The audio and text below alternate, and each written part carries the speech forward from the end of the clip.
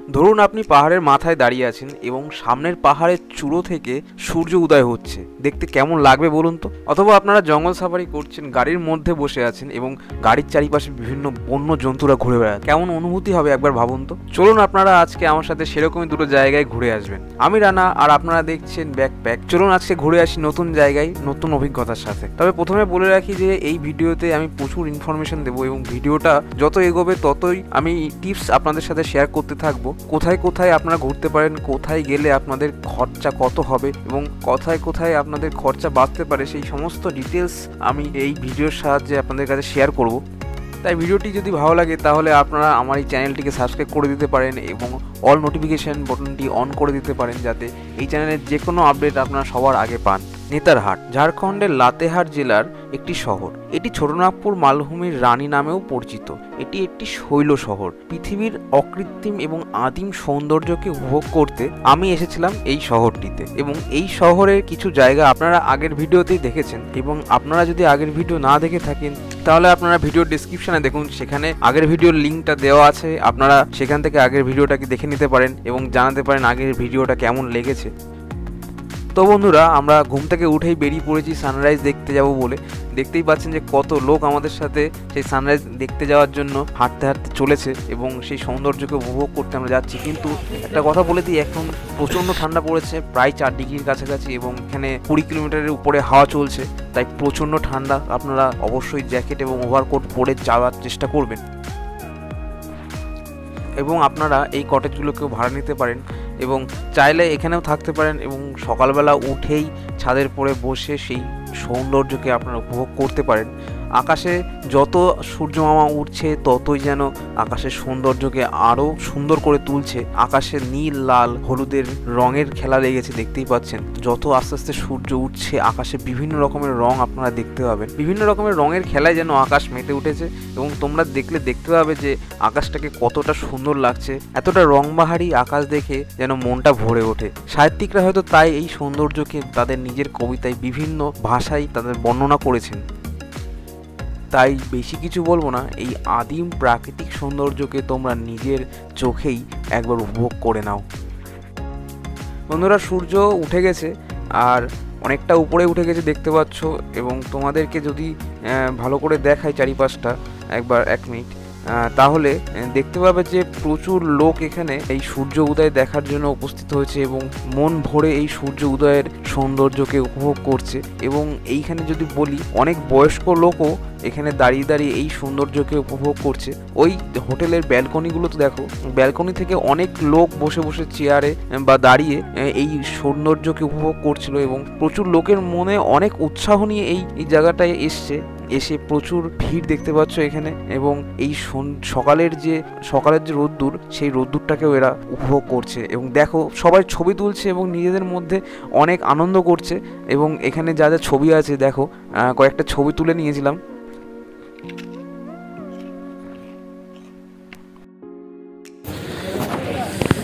তো আমার সানরাইজ দেখে আসলাম। এই হোটেল, হোটেলটা যদি তুমি নিতে পারো, তাহলে খুবই ভালো হয়। এই হোটেলে তুমি ব্যালকনিতে বসেই সানরাইজ দেখতে পারবে। আর যদি নাও পারো, তাহলে আশেপাশে অনেক হোটেল আছে।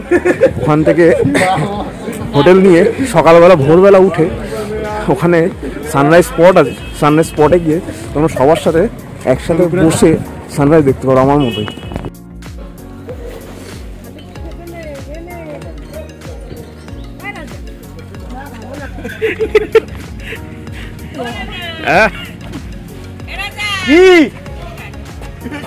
কি হয়েছে?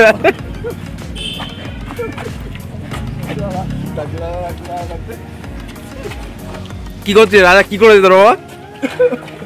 এ রাজা, কি করেছে? কি করেছে?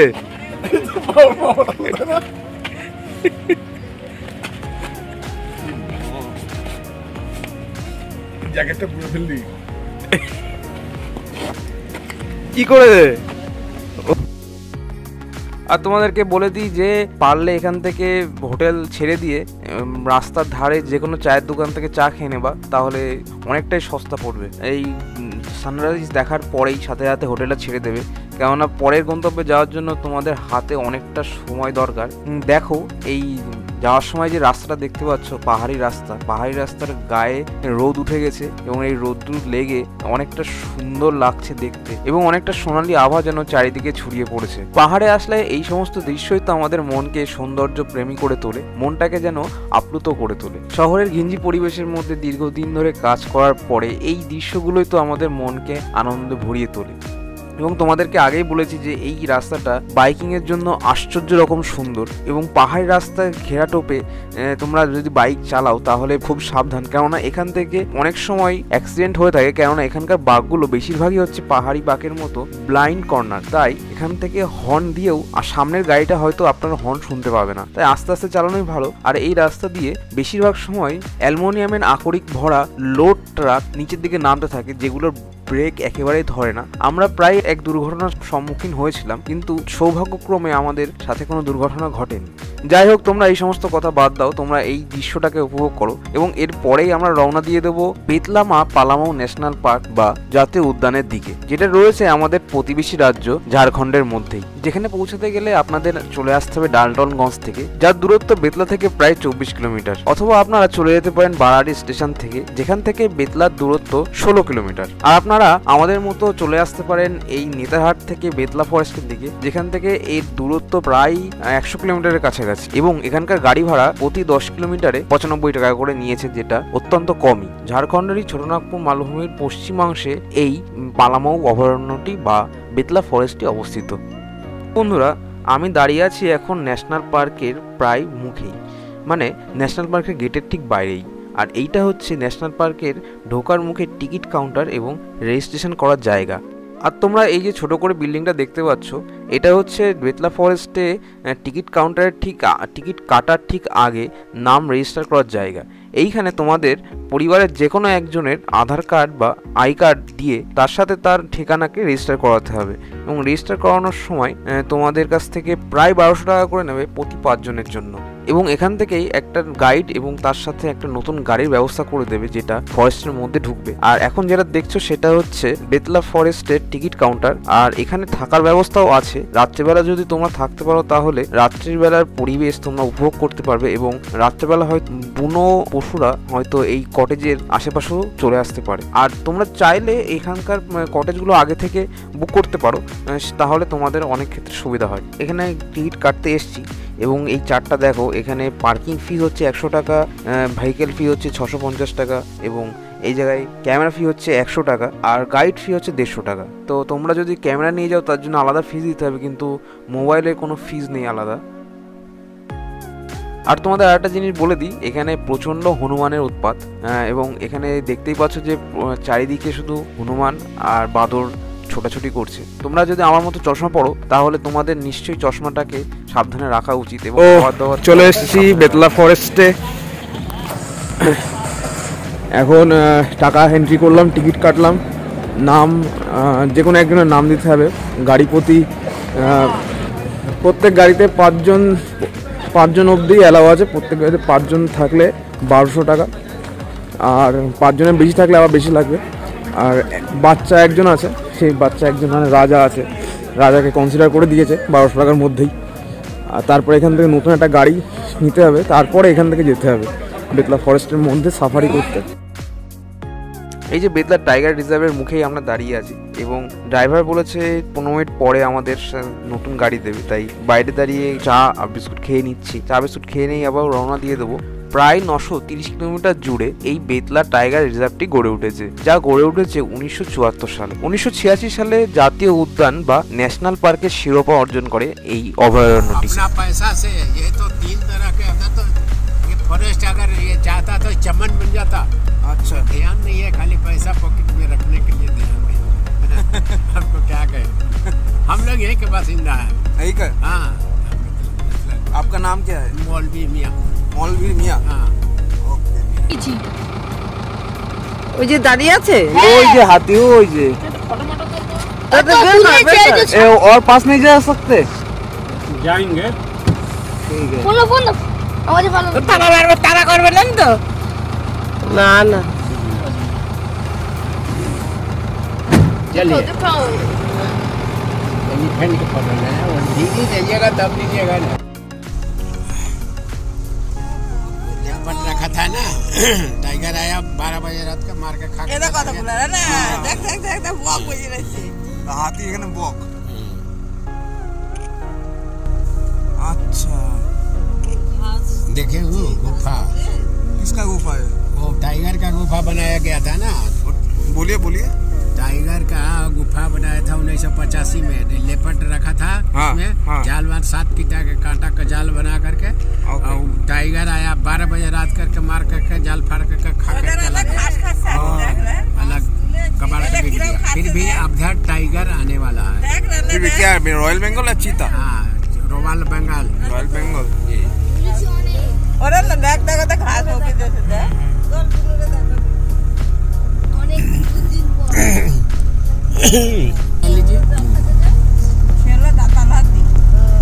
हौदा कसा हुआ? कि हुड खुला खिड़ी होकर के देखा जाता था हाँ हाँ। तो उसको लपट लेकर लपट लेता था। हाँ इसीलिए बंद करा दिया।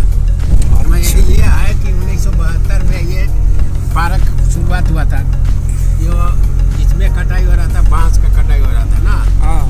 तो उसके अलावा टाइगर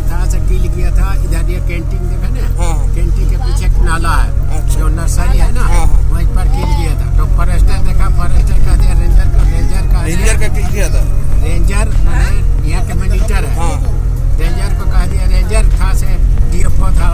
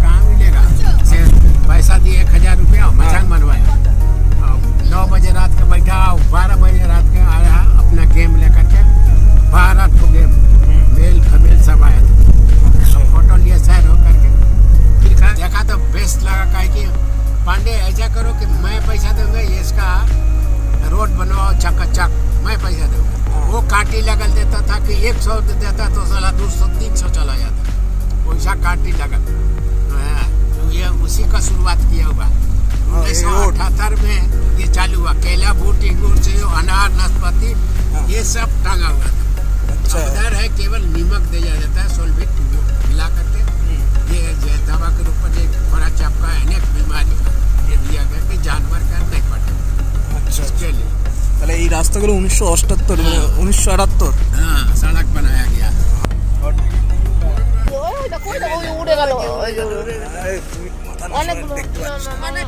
অনেক আছে চারটে আছে চারটে এগুলো ছোট তোলা এগুলো ছেলে মেয়ে কোথায় সে? তো হ্যাঁ। ওই যে ওই ওই যে ও ওই যে। ওই যে ওইটা বেগম তুলবে এ? ওই ওই যে জঙ্গলের ভেতরে ওই যে ওই যে ঝোপ এই যে ওই যে আস্তে আস্তে बड़े पार्क है कहीं घेरा हुआ कहीं बाउंड्री नहीं है। बॉर्डर फिर से बोलिए बॉर्डर आपको ये जैसे छत्तीसगढ़ और उड़ीसा हाँ। कन्हा ये झारखंड ये बॉर्डर बॉर्डर लगा हुआ है ये पूरा जंगल इस बॉर्डर पे है हाँ बॉर्डर 20 से 25 किलोमीटर के रिंग रोड है एक से पाँच रोड है अच्छा मैं ये इधर ये जंगल में बेस ऐसा हुआ जैसे এটা হলো বালি পাহাড় এখানে आपको पता রয়্যাল है, বেঙ্গল টাইগার ছিল এককালে वहाँ चल जाता था पक- पगडंडी इधर के जंगले जंगल ओके मनका का गांधी इधर रात में भी सफारी होता है अब ना नहीं होता मनका सुनिए ना बता रहे मनका गांधी जो बलिया में जो वन मंत्री बना वही आज कल के घुमा। और ये कहा कि ये नहीं से जानवर का आँख पर लाइट बढ़ता है तो चौक हो जाएगा। उसके लिए बंद करा दिया।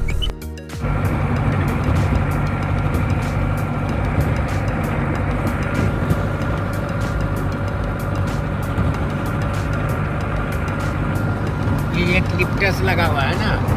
ये लिप्टस है अच्छा सगुन गाछ लगा इसमें नहीं बुझा सगुन गाछ? हाँ। पत्ते এই সফেদ সফেদ সেগুন গাছ हाँ ये तो अथी है लिप्टस আচ্ছা আচ্ছা सफेद एक लिप्टस है बहुत पानी घींचता है ना পুরো বেতলা ফরেস্টটাই আলো আধারিতে ভর্তি তাই আপনারা এইখানে এসে এই আলো আধারের মাঝখানেই দেখতে পাবেন পার্কিং ডিয়ার বুনো হাতির দল বাইসনের দল এবং আপনারা যদি পাখি দেখতে বা পাখির ছবি তুলতে ভালোবাসেন, তাহলে এই জায়গাটা হচ্ছে আপনাদের জন্য একটা স্বর্গরাজ্য।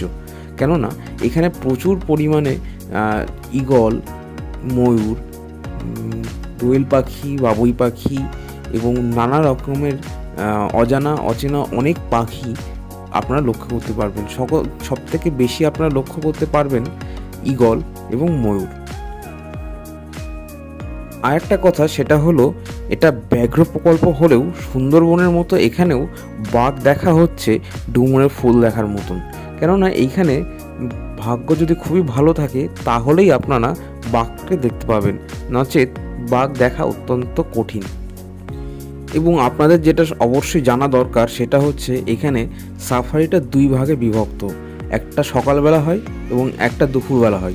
যেটা সকালবেলা হয়, সেটা সকাল ছটা থেকে দশটা অবধি। এবং দুপুর দুটো থেকে পাঁচটা অবধি পরেরটা আপ ইয়া হাতি কিতনে হ্যাঁ हाथी पंचानवे को है আর বাইসন बाईचन आपको देखिए एक सौ पचहत्तर है एक सौ पचहत्तर बाइसन और पचपन हाथी पंचानवे उसको भी धरने का मौका मिलेगा हाँ। और जानवर के भी बहुत मौका मिलेगा ये चौक होकर के भागेगा हाँ। इसके लिए आओ बेस्ट लगता है आपको जानवर का बारे में अच्छा फिर सफेद में जिस दिन जैकेट ওই যে ওই যে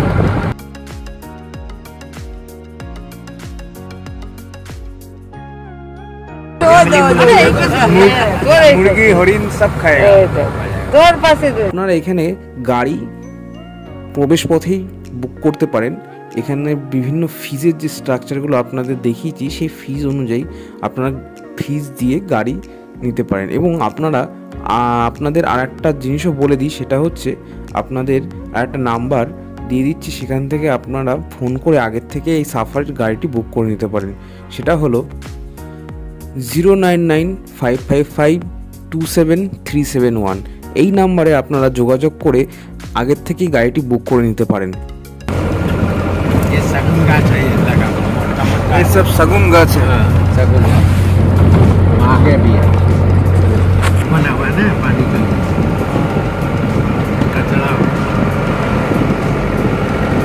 रिपोर्ट दिया है कि पानी में नहीं लगेगा ও এটা যে খয়ের গাছ देखिए ये दिन राइट हाँ राइट साइड में आपको बताएंगे এটা যে খয়ের গাছ না এইগুলা খয়ের গাছ হ্যাঁ ये পানির खैर থেকে गाछ नहीं है वो खैर खैर गाछ खैर गाछ पता नहीं कौन- খয়ের গাছ খয়ের পানির যে খয়ের হয় সেই খয়েরটা বেরোয় হ্যাঁ হ্যাঁ ওই তো কি এই পানের খয়ের এর ছাল থেকে যদি হাতির সাফারি করতে চান সেটাও এখানে সম্ভব কিন্তু তার জন্য আপনাকে দিতে হবে এক্সট্রা চার্জ তাই প্রবেশ করার আগে আপনাদের অবশ্যই ফি স্ট্রাকচারগুলো ভালো করে দেখে নেওয়া উচিত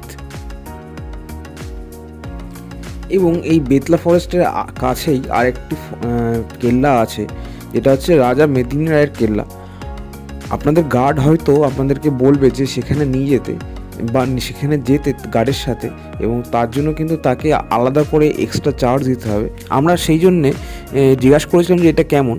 ড্রাইভারের কাছে যে আমাদের মূল ড্রাইভার পুরো ট্যুরের তাকে জিজ্ঞাসা করেছিলাম। সে বলেছিল যে এই জায়গাটায় যাওয়ার মতো কোনো জায়গা না, একটা ভগ্নাবশেষ যেখানে কেবলমাত্র একটা ভাঙা বাড়ি পড়ে আছে এবং তার খোলা ইটগুলো আপনার শুধু দেখতে পাবেন। তা বাদে আর কোনো দেখার মতো জায়গা নেই। তাহলে আপনারা যদি যান, তাহলে এই জায়গাটাকে অ্যাভয়েড করতে পারেন।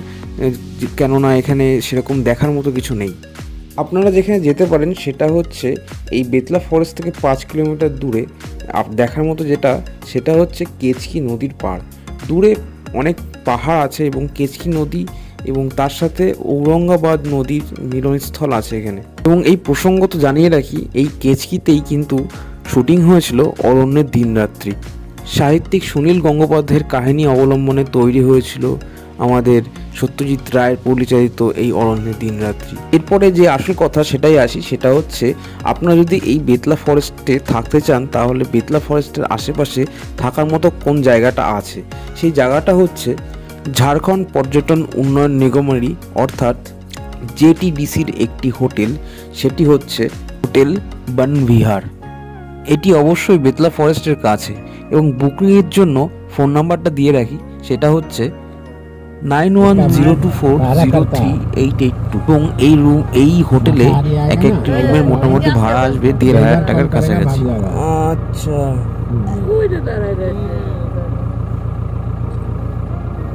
করবে দাদা। বাদরগুলো দিলে ভয় হুম। জ্বর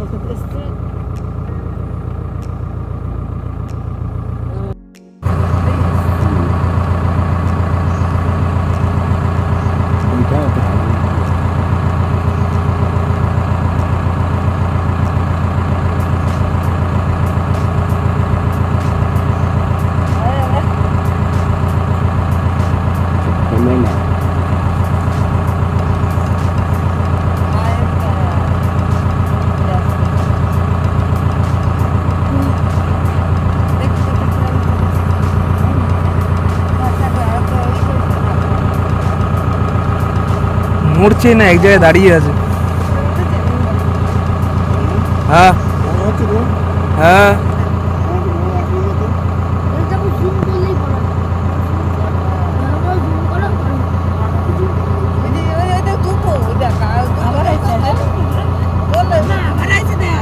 দুটোই ছিল ওখানে।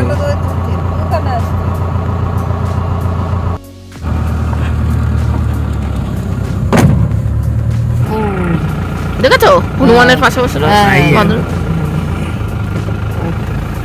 के साथ देखिए कितना ये अथी है लंगूर এই হনুমানকে ওরা পাহাড়াদারের মতো কাজ করে বুঝলো তো বাঘ আসলে बाघ हाथ में तो वो गाछ पर चढ़ के डेंजर कर कॉल कर दे जो ये लोग भाग चले गए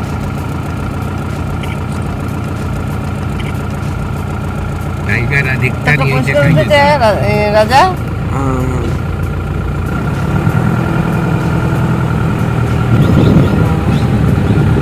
পুরস্কার दिखाई দিতে देता है। এ, রাজা আহ, এই দিক নেই গুলো দাঁড়িয়ে আছে ও হ্যাঁ তিল দিঘা এত শুয়েছে যে দাঁড়িয়ে আছে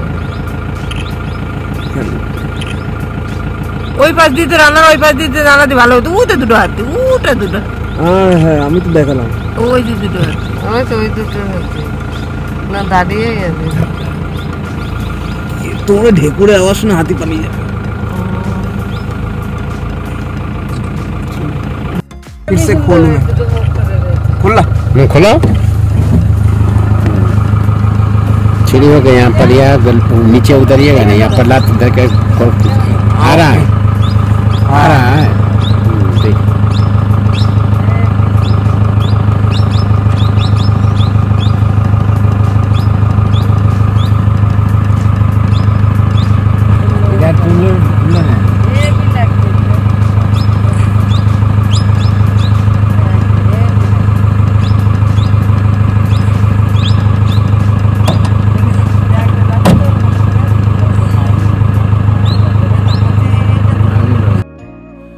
বন্ধুরা, আজকে এই অবধি। যদি তোমাদের ভিডিওটি ভালো লাগে, তাহলে অবশ্যই লাইক কমেন্ট এবং শেয়ার করে দিও এবং আমাকে যদি সাপোর্ট করতে চাও, তাহলে একটা সাবস্ক্রাইব করে দিও। আশা করছি তোমরা ভালো থাকবে, সুস্থ থাকবে এবং পরিবারকে নিয়ে স্বাভাবিক জীবনযাপন করবে। আজকের মতো এই পর্যন্তই গুড বাই